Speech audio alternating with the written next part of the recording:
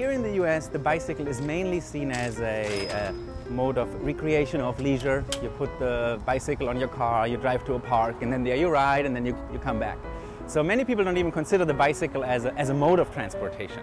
Making cycling more attractive would uh, include building more bike facilities so that it doesn't feel dangerous and it feels convenient to use the bicycle. Ralph's research, especially his international comparative perspective, has really helped us appreciate that driving isn't in the DNA of Americans and that policies really help shape travel behavior. Over the last uh, 10 to 15 years, many uh, North American cities in the US and in Canada have started implementing more innovative bicycle infrastructure and measures to promote cycling. Many of these facilities and programs already exist in Europe, but they are new uh, over here.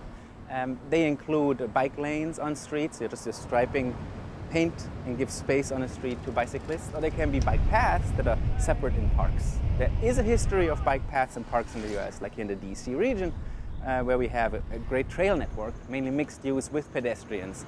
But we didn't have so many facilities within the city and on streets, getting people from the trails to their final destination.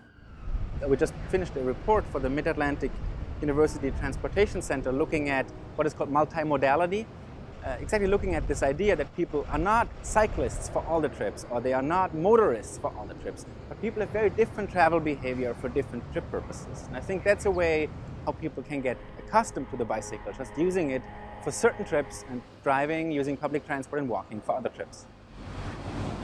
Not only am I a transportation researcher, but I also bike on a daily basis. And I bike because it's often the best way to get around. I really like that uh, I'm doing right by my community and the environment.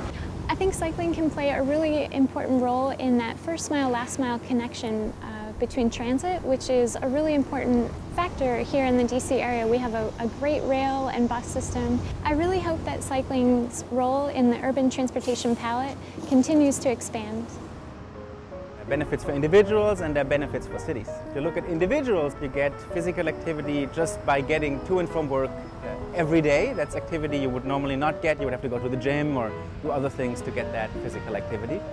From a more societal or government perspective, the benefit can be a reduction in congestion. If more people would cycle to work, there would be fewer cars. If there are fewer cars, there's less traffic congestion. With fewer cars, there's also less air pollution, less use of petroleum or non-renewable resources. So there are many, many benefits for different groups. So cycling is, is good for everyone.